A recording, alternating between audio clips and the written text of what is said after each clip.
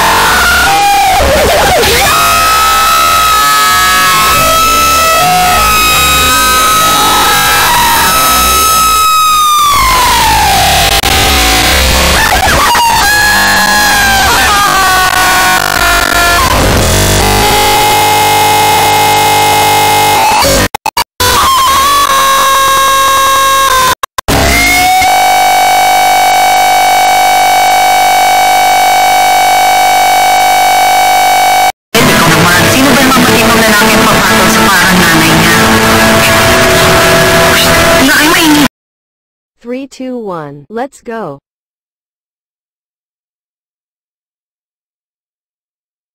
Isang kilo niyan. Uy! Dala! Isang kilo. Ah!